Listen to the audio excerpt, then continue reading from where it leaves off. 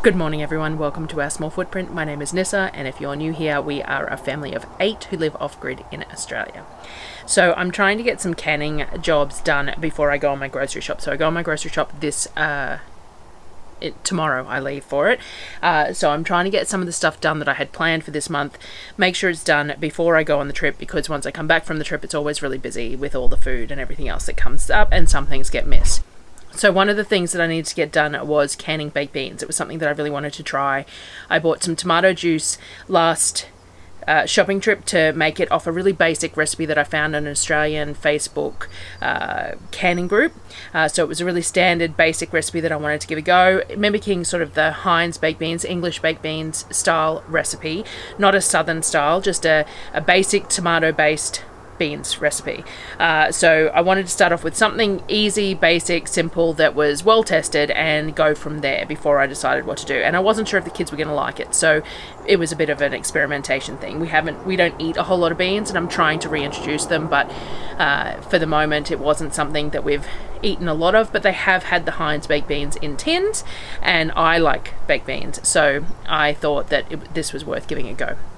So I told everyone I was going to do it, and everyone asked me to bring you along when I did. So I'm doing that, and they turned out really well. So this is how I did this particular batch. If you have any really good recipes for baked beans, then put them in the comments below because I'm going to try some variations on this because I really like the idea of having more meals that the kids can just open a jar of. They can warm it if they want, or they can eat it cold straight off the shelf, especially in busy times of the year are really handy to have. So uh, I'm looking forward to adding more of those sorts of things to the shelf. So come along and see how I did the baked beans uh, and I'll show you them at the end as well.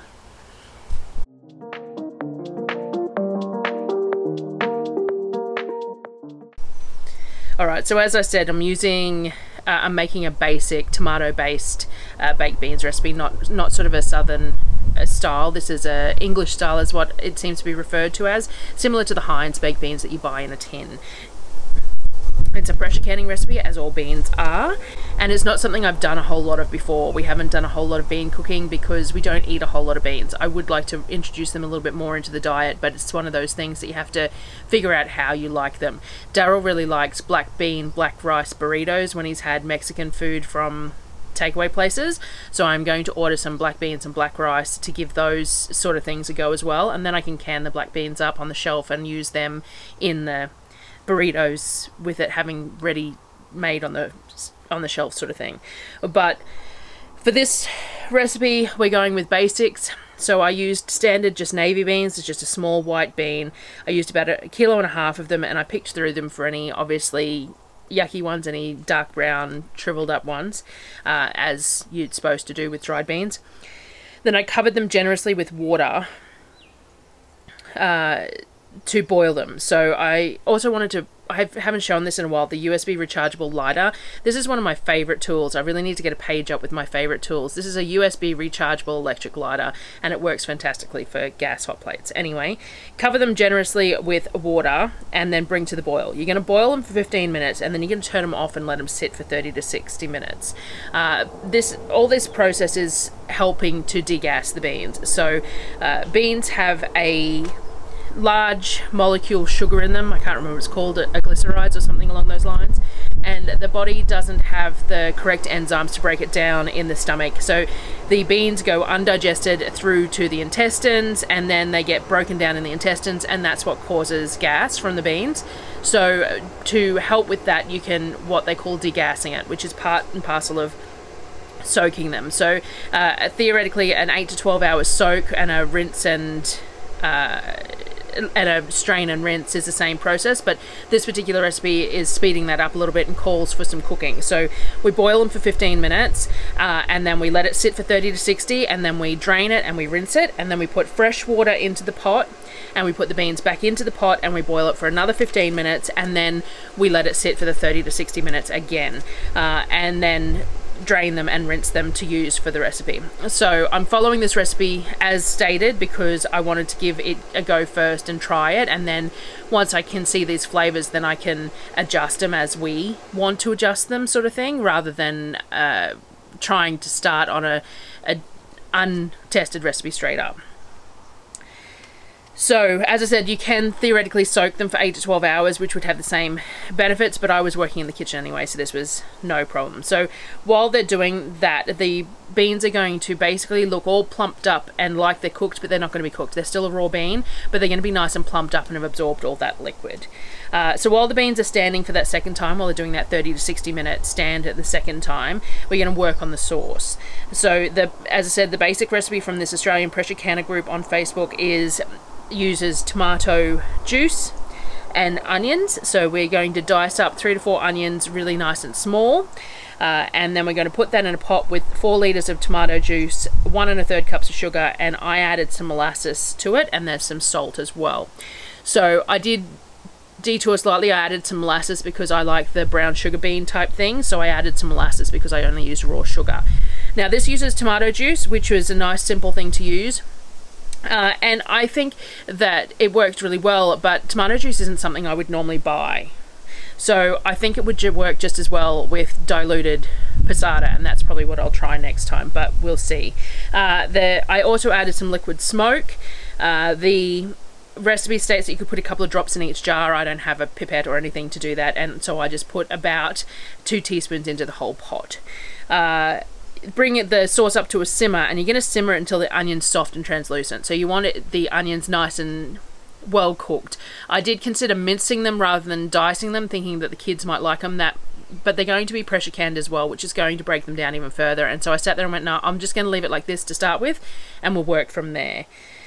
Uh, so you're going to simmer it. I think it took about 25, 30 minutes for me to get it to a point where that when I tasted it, there was no crunch to the onion, and that's what I was looking for because I like my onion soft. I like the flavor of the onion, but I like it soft.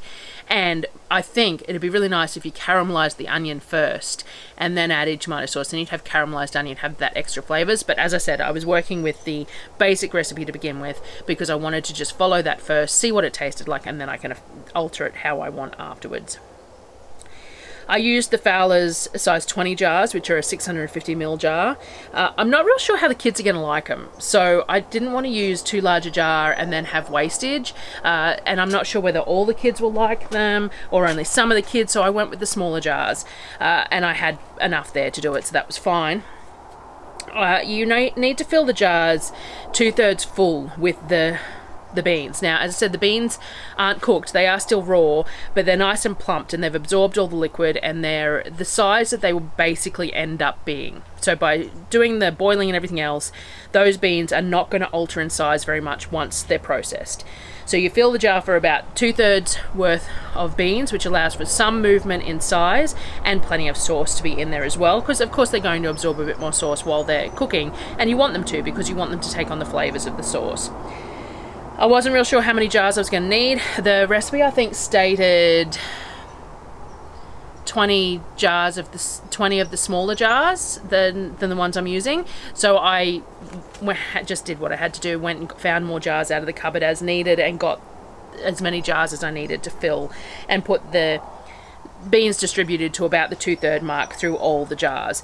Uh, once the beans are in the jars, then you need to top it up with the hot liquid. So I like to fill my Fowler's jars just to the shoulder. Because the neck's narrow, I find that I have issues with siphoning if I take it any further than just the shoulder. So I fill to the shoulder with the hot tomato sauce and I find that that works for me. I am bringing th up things up to temperature in on a gas burner and they run a little hot and the if you take the pressure up too fast you can have siphoning as well. So there's a few different variables there but I find with these jars that narrow at the neck that filling to the shoulder is a good point to use. Once all the jars were topped up to the shoulder with the liquid, you want to debubble them well. So I quite vigorously moved the beans around and debubbled the jars because there's lots of points in there that could have air pockets in them and then that will affect your headspace and you want your headspace correct for your beans to last the time on your shelf. So using a plastic implement of some sort, a packing stick if you've got it, I can't find my packing stick for the life of me. So what I've been using is the end of one of those plastic spatulas with the spatula taken off it. It works quite well. So get in there and stir the beans around and make sure that you got all the air pockets up to the top of the surface. The beans shouldn't swell anymore, as I said, but you've got to leave a little bit of, you know, room for movement there as well with anything that you're doing. Once you've debubbled it, you'll find that the level of your liquid will have dropped a little bit because any of those air pockets will be have been disrupted. So you need to top it up to make sure that your headspace is right and you've got the liquid to the shoulder in all the jars so that they're all even and all at the right spot. If you don't have enough headspace in your jars, they won't last as long on your shelf. You should eat them first, sort of thing things have can have a tendency to go bad if your headspace is too high. So you want to make sure that you've got a the right amount of headspace within your jars. Once all that was done and the jars were all evenly filled, headspace was correct and everything else, we did the normal process. Now you're going to want to clean the rims really well with white vinegar because you've got some sugar and tomato and stuff in your sauce. I did knock a whole jar over at one point while I was doing this, which means that there was some splashing on the jar, so I was really careful to clean that up. Uh, the I also, because I'm limited on space and everything else, I tend to drag the ladle over the rest of the jars as I'm filling the ones at the back. And that means that I drip. So if you've got a better method where you're not doing that, then you're going to have less issues with things on the rim. But I make sure to clean them really well. Uh, I actually have some paper towel at the moment, which is working well because I can't find my lint-free cloths that I had, uh, and I can just compost the paper towel. So I might actually get myself some more paper towel this month, just because it's really convenient to have, and it can be composted, so it's not such a big deal. Uh, I prefer to avoid paper towel, but I have to have clean fabric cloths as well. Like, and if there isn't any, then I don't have a choice. So having paper towels handy. Anyway, uh, so clean the rims really well. These are Fowler's jars, so the lids seal around the outside rim, the rubbers around the outside rims rather than on top. So you have to clean around the outside as well as on the top. Ball mason, it's really that very top bit that's the most important spot. Uh, the the kitchen as I said with the kitchen, it becomes an issue because I'm trying to can, but I'm also trying to make meals around everything else.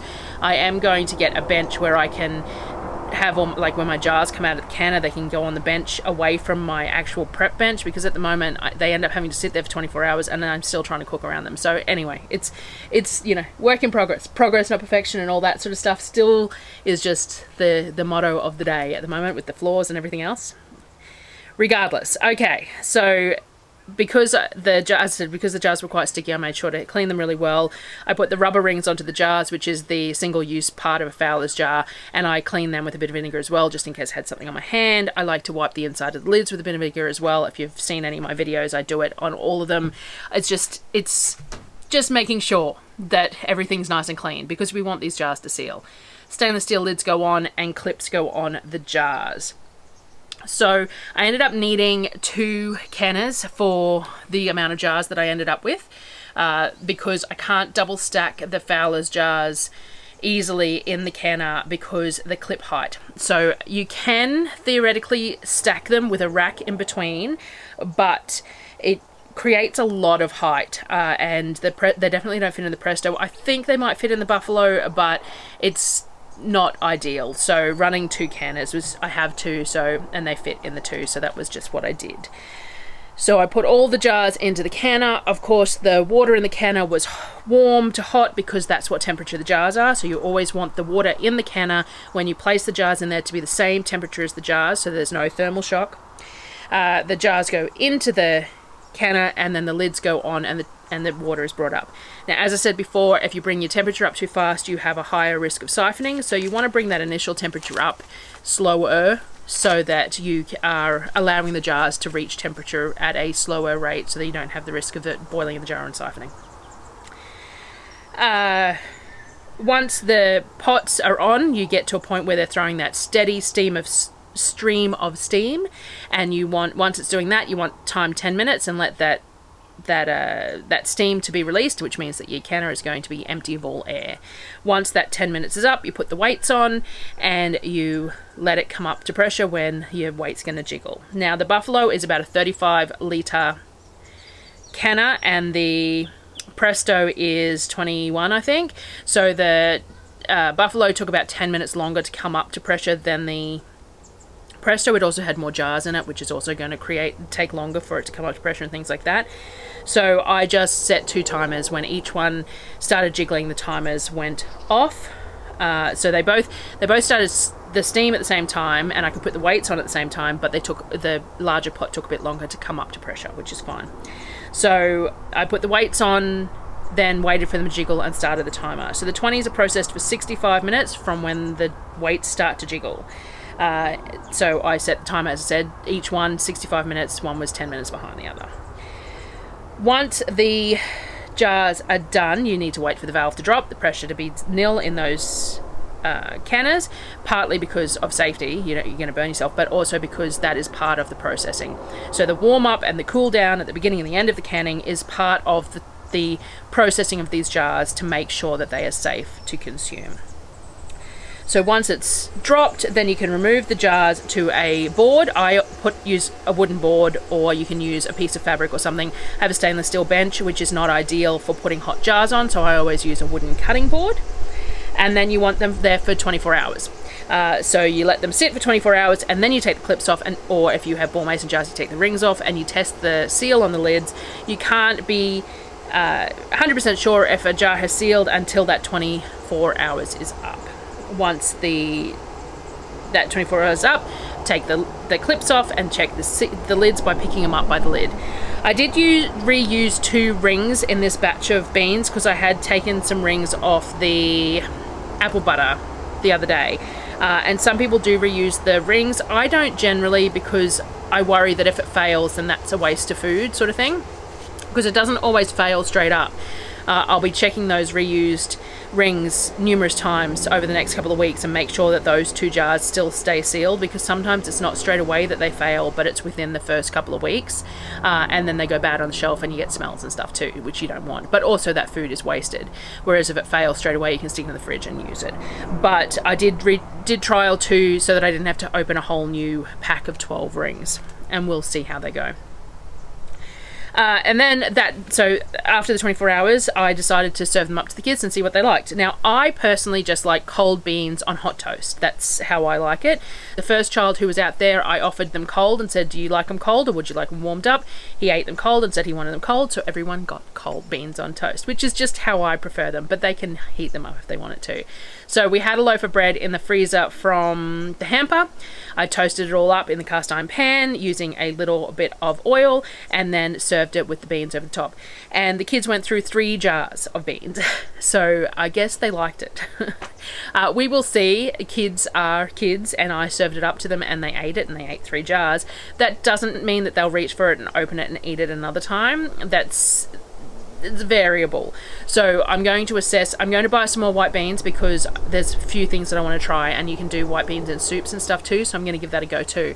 So I will buy some more white beans to do more of these with. And I quite like baked beans. So even if they don't eat them, I can. We just don't always have bread that can be used as toast and I like them with toast. So we'll see how we go. But they're probably nice with scrambled eggs and sausages and things like that too. So anyway, we will find ways to use them and I will probably make more. But what I'm going to be watching is while I'm gone, especially like they could potentially use them while I'm gone as meals over the few days when uh, Darryl is doing food, because uh, they generally only eat food that I've pre-prepared. They generally reheat food and uh, use things that I've already made before I left, rather than making whole meals. Because at this point in the month, it's kind of hard to make whole meals. You have to have the skill set to be able to make it from a variety of not a lot of food.